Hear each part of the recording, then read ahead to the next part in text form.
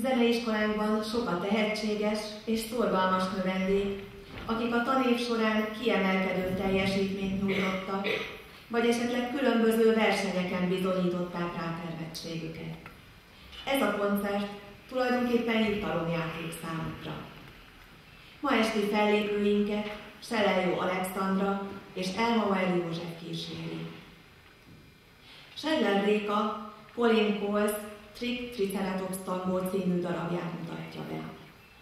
Réka a Csukor László 5. dél regionális fakúvós versenyen Kaposváron az első korcsoportban második helyezést ért el.